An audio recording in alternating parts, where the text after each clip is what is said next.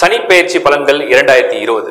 இந்த சனிப்பெயர்ச்சி இரண்டாயிரத்தி இருபதுல திருக்கணித பஞ்சாங்கப்படி ஜனவரி மாதம் இருபத்தி நான்காம் தேதி இடம் பெயர்கிறார் மேஷராசி சனிப்பெயர்ச்சி பலன்கள். மேஷராசி இந்த இரண்டாயிரத்தி இருபதாவது வருஷம் ஜனவரி மாதம் இருபத்தி நான்காம் தேதி மேஷ ராசிக்கு சனி எங்க இடம் மாறுகிறார்? தனூர்லேருந்து மகரத்தை தொடும் பொழுது இந்த மகரம் அப்படிங்கிறது மேஷம்க்கு பத்தாவது வீடு. ஃபஸ்ட்டு நீங்கள் அண்டர்ஸ்டாண்ட் பண்ண வேண்டியது என்னன்னா கரியர் ஜாப் உங்களுடைய business business start up change of place foreign travel வெளிநாடு யோகம் விசா எஜுகேஷன் ஒரு நியூ ஜேர்னி இன் லைஃப் ஒரு நியூ பிகினிங் ரெக்கவரி எதெல்லாம் நீங்க எழுந்தீங்களோ அதெல்லாம் ரெக்கவர் பண்றது. இதெல்லாம் தான் இந்த மேஷத்துக்கு முதல் யோகத்தை கொடுக்க போறார். சனி வரும்பொழுது மேஷத்துக்கு என்ன செய்வார்? இது வரைக்கும் வேலையே இல்லாதவங்களுக்கு வேலையை கொடுப்பார். இது வரைக்கும் தொழில எந்த சாதனையும் பண்ணல எந்த ஒரு கஷ்டத்துமே அனுபவிச்சிருக்கோம்னா அவங்களுக்கு நிவர்த்தியை கொடுப்பார். உடைய பெயர்ச்சி ரிஷபம் ராசிக்கு அதிர்ஷ்டமா யோகமா முன்னேற்றமா பாக்கியமா என்ன? சனி ஒருவர் தான் ரிஷபத்துக்கு முழுமையான யோகம். நீங்க உங்க சுய ஜாதகத்திலே நீங்க ரிஷப லக்னத்துல பிறந்து சனியும் புதனும் சுக்கரனும் யோகமா இருந்துட்டாங்க. நான் சொன்ன மாதிரி one four seven ten one five நைன்ல இருக்காங்க அப்படின்னா எக்ஸலண்டான பலன் கொடுக்கும். இதுல ரிஷபத்துக்கு மட்டும் பாத்தீங்கன்னா செவ்வாய் சனி சேர்க்கை இருக்கும். சில சமயத்துல ரேரா வரும். ரிஷப லக்னத்துல பிறந்து செவ்வாய் சனி சேர்க்கை இருந்ததுன்னா பெரிய ராஜயோகம். அதுலயும் பத்தாம் இடம் ஒன்பதாம் இடத்துல செவ்வாய் உச்சம் பெற்று சனி ஆட்சி பெற்றால் மிகப்பெரிய யோகம். அரசியல பெரிய லெவல்ல இருப்பாங்க. சனியுடைய பெயர்ச்சி மித ராசிக்கு என்ன பலனை தரும்? நிறைய பேருக்கு ஒரு பயம் இருக்கு. ஐயோ அஷ்டமத்து சனியாச்சு ஏதாவது பிரச்சனை பண்ணிடுமா?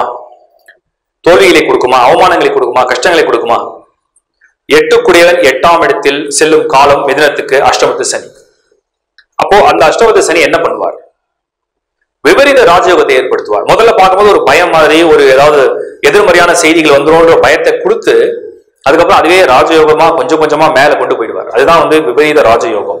சொந்த வீட்டுல சனி. அதுவே ஒரு பெரிய பிளஸ் சரி யாரெல்லாம் கவனமா இருக்கும் மிதுன ராசியில பிறந்துட்டீங்க. எல்லாருக்குமே இப்ப சொன்ன மாதிரி ஃபர்ஸ்ட் கிளாஸா இருக்குமா? விபரீத ராஜ்யத்தை கொடுத்துருமானா? இங்கதான் நீங்க ஒரு ஒரு பாயிண்ட் நோட் பண்ணோம் உங்க சுய ஜாதகத்துல சனி ஸ்ட்ராங்கா இருக்காரா? யோகமா இருக்காரா? எந்த அளவுக்கு வலுவா இருக்காரு?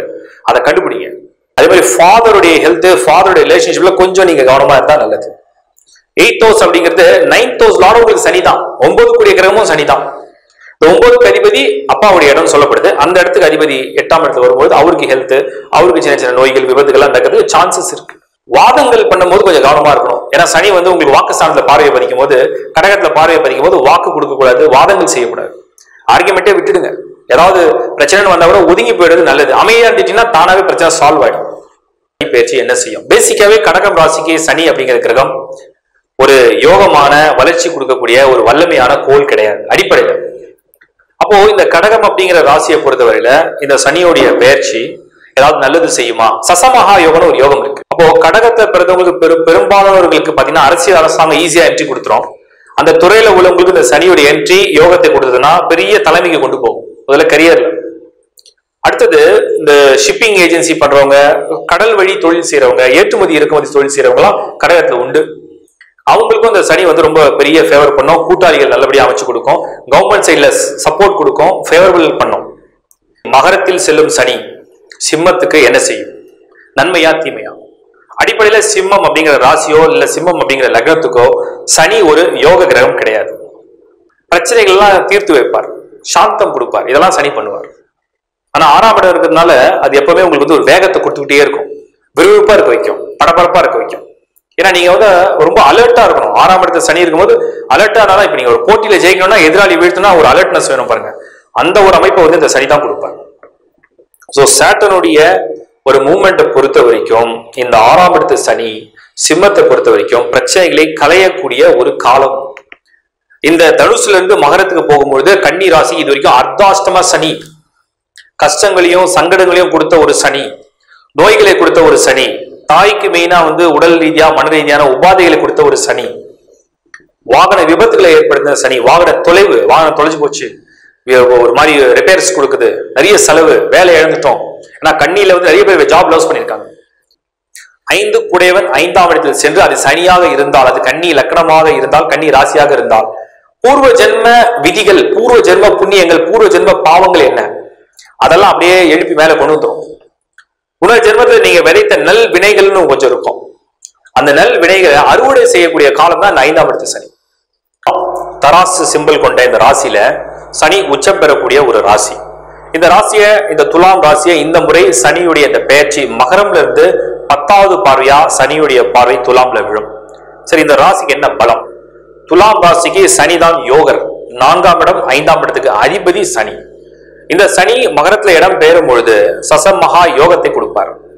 இந்த சனி நான்காம் இடத்துல இருந்து வீடு வாகன சொத்து சேர்க்கை வசதிகளை கூட்டிக் கொள்ளக்கூடிய ஒரு கால அளவை நிர்ணயிக்கக்கூடிய ஒரு இடம். துலாமை பொறுத்த வரைக்கும் சனியுடைய பார்வை நேரா பாத்தீங்கன்னா கடகம்ல. அப்போ வேலை ரீதியா உங்களுடைய கரியர்ல உங்களுடைய தொழில் உங்க பிசினஸ்ல இதெல்லாம் வந்து ஒரு பெரிய ஒரு டெவலப்மெண்ட்டும் ஒரு புதிய மாற்றத்தையும் ஏற்படுத்தக்கூடிய ஒரு காலம். வெளிநாடு பயணங்களுக்கு பொதுவாகவே இந்த சனி பயிற்சி அதிக பலன்களை கொடுக்கும். அதுக்கு காரணம் சனியுடைய பார்வை அந்த கடகத்துல இருக்கிறதுனால. நீதித்துறை நீதி நியாயம் தர்மம் இது மாதிரி துறைகளுக்கு இந்த துலாம் ரொம்ப முக்கியமான இடம். அந்த துலாம்ல சனி பார்வை படுறதுனால அந்த துறைகளில் உள்ள குறிப்பா வந்து வழக்கறிஞர்கள் அல்லது நீதித்துறையை சார்ந்தவர்களுக்கு இந்த ராசியில உள்ளவங்களுக்கு வந்து மிகப்பெரிய யோகத்தை கொடுக்கும். ஒரு முன்னேற்றத்தை கொடுக்குங்கிறது நமக்கு உரியா தெரிய வருது. நீண்ட நாளா இந்த விருச்சிகத்துல ஏழரை சனி ஆட்டி படைத்து உங்களுக்கு வந்து மன நிம்மதியை குலைத்து உங்களுக்கு கடன் பிரச்சனைகளை கொடுத்து வேலையில பிரச்சனைகளை கொடுத்து குடும்ப வாழ்க்கை ஆரோக்கியம் தொழிலில் வந்து நஷ்டங்கள் இதெல்லாம் ஏற்படுத்தின சனி விலகம் நேரம் இரண்டாயிரத்தி இருபது ஜனவரி இருபத்தி நான்கு. குறிப்பா வந்து தன வரவு. இது வரைக்கும் தன வரவு வந்து ஏதோ இந்த என்ன சொல்லுவாங்க தண்ணி பத்தாம சொட்டி சொட்டி ஒரு தண்ணியை வந்து நம்ம குடிக்கிறது மாதிரி.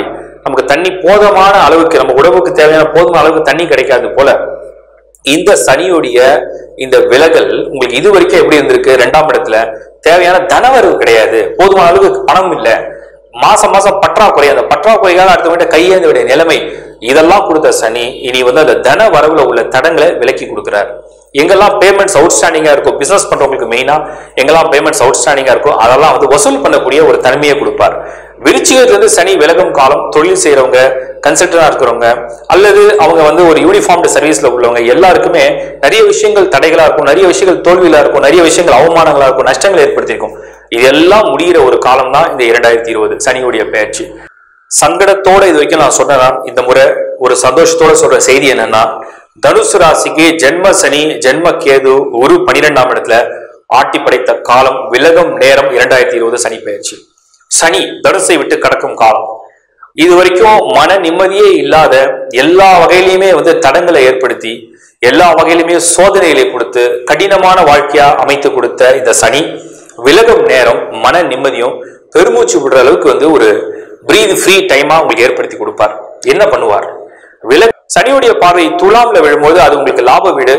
லாபத்தில் சனி பார்வை விழுந்தால் தனுசு ராசிக்கு தனாதிபதியாகவே சனி இருந்து தனஸ்தானத்தை அடையும் காலம் பொருள் வரவு கொஞ்சம் தாமதித்தாலும் நல்லபடியா கொடுக்கும்.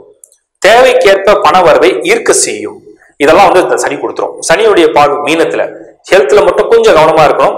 அதுலயும் குறிப்பா வயசுல மூத்தவங்களா இருந்தா கொஞ்சம் கவனமா இருக்கணும். வாகனத்துல பிரயாணம் பண்ணும்போது ஏழரை சனியா இருக்கிறதுனால எப்பவுமே விழிப்புணர்வோடு இருந்தால் கொஞ்சம் நல்லது. மேஜரா இனிமேட்டு ப்ராப்ளம் கிடையாது. இருந்தாலும் மைனர் லெவல்ல கொஞ்சம் கொஞ்சம் எச்சரிக்கை இருந்தா சேஃப் தனுசு இதுவரைக்கும் இருளில் மூழ்கியிருந்த உங்களோட வாழ்க்கை வந்து இப்பதான் பாதை தெரிய கொஞ்சம் கொஞ்சமா காலம் ஆரம்பிச்சிருக்கு. அந்த பாதையை ஒரு முறைக்கு ரெண்டு முறை சிந்திச்சு தெளிவா பொறுமையா நிதானமா யோசிச்சு உங்களுடைய செயல்பாடுகள் இருந்தால் இந்த சனியுடைய பெயர்ச்சி நீங்கள் நல்லபடியாக சுபமாக பயன்படுத்தி கொள்ளலாம். இதுதான் வந்து முக்கியமான பாயிண்ட் மகரம். தன்னுடைய ராசியான மகரத்திலேயே சனி இடம் பெயரும் பொழுது அடியெடுத்து வைக்கும் காலம் ஆட்சி பெற்ற சனியா இருக்கக்கூடிய காலம் இந்த மகர ராசியில பிறந்தவங்களுக்கு தேர்ட்டி கிராஸ் பண்ணவங்களுக்குலாம் ரொம்ப ஒரு ஃபேவரான ஒரு டைம் மிகப்பெரிய லாபம் மிகப்பெரிய ஆதாயம் மிகப்பெரிய முன்னேற்றத்தை கொடுக்கக்கூடிய ஒரு சனி. உழைப்பால் உயர்ந்தவர்கள் யாருன்னா அந்த மகரம் தான். சனியுடைய ராசினா வந்து உழைச்சு மேல வாழ்க்கையில வந்து வர வைக்கும் அதான் சொல்லுவாங்க ஒருத்தருக்கு அதிர்ஷ்டம் நினைக்குதோ இல்லையோ ஆனா உழைப்பு கண்டிப்பா நினைக்கும் அந்த வாசகத்துக்கு ஒரு உதாரண புருஷர்கள் யாருன்னா அந்த மகர ராசி. சோ மகரம் இந்த முறை இந்த சனியுடைய பேச்சு இந்த சனியுடைய பார்வைகள் உங்களுக்கு மாற்றங்கள் நிறைந்த முன்னேற்றங்கள் நிறைந்த புதிய வாழ்க்கையுடைய ஒப்பந்தங்கள் நிறைந்த ஒரு ஏற்றமிகு வாழ்க்கையா கொடுக்கும். ஃபர்ஸ்ட் டைமா கும்பராசிக்கு தேர்ட்டி இயர்ஸ் உள்ள உள்ளவங்களுக்கு இந்த ஏழு நாட்டு சனியுடைய துவக்கம். பட் சனியுடைய ராசியா இருக்கிறதுனால அதிக பாதிப்போ இல்ல அதிக கஷ்டங்களையோ சனி எப்பவுமே கொடுக்க மாட்டார். ஆனா விரயஸ்தானமான பன்னிரெண்டாம் இடத்துல கும்பத்துக்கு வரும் காலம் சில விஷயங்கள்ல கவனமா இருக்கணும். இப்ப விரயங்கள் அப்படின்னா என்ன? காலம் விரயம் உங்களுடைய உழைப்பு விரயம் உங்களுடைய உறவு உங்களுடைய பணம். இதெல்லாம் வந்து விரயம் பண்றதுக்கு அந்த சனி உள்ள உள்ள வராது எதுலாம் நீங்க வந்து சுபமான விரயமா கன்வெர்ட் பண்றீங்களோ அதெல்லாம் பாசிட்டிவ் சைட்லயும் எதெல்லாம் வந்து நெகட்டிவான ஒரு சைடுல இருக்கோ அதெல்லாம் நெகட்டிவ் சைடில் அந்த சனி கொண்டு போகும்.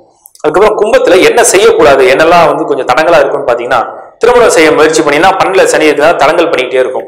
ஸோ எவ்வளோதான் நீங்கள் வரன் பார்த்தாலும் கூட டக்குன்னு வந்து அந்த வரனை சேர்த்து வைக்காம இழுபறியாக இருக்கக்கூடிய சூழ்நிலையை இந்த சனி உண்டு பண்ணும். ஒரு காரியம் நடக்கணும் அதுக்காக நிறைய முயற்சி எடுக்கிறீங்க அது பழிக்கணும் அது வந்து எக்ஸ்ட்ரானரியா முடியணும் அது எந்த ஃபீல்டாக இருந்தாலும் சரி. அதில் பார்த்தீங்கன்னா தடப்பட்டு இழுபறியாக இருந்து அதுக்கப்புறம் தான் அது போய் முடியும். ஈஸியா முடியாம போராடும். இது வந்து இந்த பன்னெண்டாம் இடத்துல சனி பண்ணக்கூடிய வேலை. சனியுடைய பயிற்சி மீனமை பொறுத்த வரைக்கும் என்ன பலனை ஏற்படுத்தும்? இது வரைக்கும் பத்தாம் இடத்துல தசம கேந்திர ஸ்தானம் சொல்லக்கூடிய பத்தாவது வீட்டுல இந்த சனி இருந்து வேலை செய்யறவங்களுக்கு நிறைய தொல்லைகளை கொஞ்சம் கொடுத்துருக்காரு. சில சங்கடங்களை கொடுத்துருக்காரு. வாழ்க்கையில சில நிம்மதியற்ற ஒரு இடையூறுகளை கொடுக்கக்கூடிய இடம் வந்து இந்த பத்தாவது வீடு. இப்ப அதே சனி பதினோராம் இடத்துல ஆட்சி பெற்ற பலமான சனியா வர மகர ராசிக்கு அதிபதி சனி அந்த இடத்துல சனி வரும் காலம் மீனத்துக்கு ப்ராஃபிட் அண்ட் கெயின் ஏன்னா கூடவே அடுத்த வருஷம் அதாவது சனி பயிற்சி அடைஞ்சு கிட்டத்தட்ட ஒரு அதிசார குரு பயிற்சியா கொஞ்சம் முன்னாடி குரு வந்துருவார். பிறகு மறுபடியும் குரு பயிற்சி உங்களுக்கு வந்து சனியோட இணையிற ஒரு கால அளவை நிர்ணயிக்கும். கிட்டத்தட்ட இரண்டு கோள்கள் லாபஸ்தானத்தில் இருக்கும்பொழுது உங்களுக்கு வந்து பயங்கர ஃபேவரா இருக்கும். ஸோ டூ தௌசண்ட் டுவெண்ட்டிக்கு பிறகு மீனத்தை பொறுத்த வரைக்கும் ஃபர்ஸ்ட் கெயின் அண்ட் ப்ராஃபிட் தான். ஆனா சனி எப்போ பதினொன்று அடைகிறாரோ அப்பெல்லாம் என்ன நீங்க பிளான் பண்ணீங்களோ என்ன நீங்க நினைச்சீங்களோ என்ன நடக்கணும்ன்ற முடிவோடு இருந்தீங்களோ அதெல்லாம் நடக்கிறதுக்கு இது வரைக்கும் இந்த தடைகளை வந்து விலக்கி இனி பாதையை வந்து கிளியர் பண்ணி கொண்டு போயிடுவார். இது மீனத்துக்கு வந்து ஒரு பெரிய ஃபேவரான ஒரு பாயிண்ட் வீட்டில் சாதாரணமாக வெறும் வீட்டை மட்டும் நிர்வகிக்கக்கூடிய ஒரு ஹவுஸ் ஒய்ஃபாக இருந்தால் கூட இந்த முறை இந்த லாப சனி என்ன பண்ணும்? யார் மூலியமாவது கெயின் கொடுக்கும். பரம்பரை சொத்துல இருந்து பங்கு வந்தா அந்த பங்குடைய ஷேர்ஸ் கிடைக்கும். இல்ல யாராவது அன்பளிப்பா கிஃப்டா கூட ஏதாவது கொடுத்துருவாங்க. அந்த அளவுக்கு ஒரு லாபகரமான ஒரு சனி பயிற்சி அந்த சனி பயிற்சி நம்ம எடுத்துக்கலாம்.